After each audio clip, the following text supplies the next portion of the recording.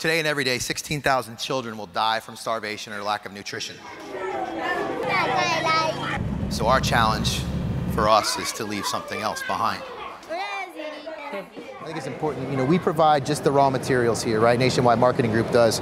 But every meal's packed by the hands of either member, vendor, partner, you, me. We ended up at about 130,000. Those were all delivered in Haiti, you know, and I felt like we did a really good job. And I was talking, we were talking to the folks and they're like, yeah, you know, you're really only kind of had kind of walking half the walk. And I, I, I, got, I, got, I got pretty bothered by that. And they just said, you don't mean it disrespectful, but you really need to be on the um, distribution, you know, end to really get the feeling of what you're doing. So I accepted that challenge. A team of nationwide staff is will be heading down to Haiti in the next 60 days or so to, to deliver 300,000 meals. We have a responsibility to do that.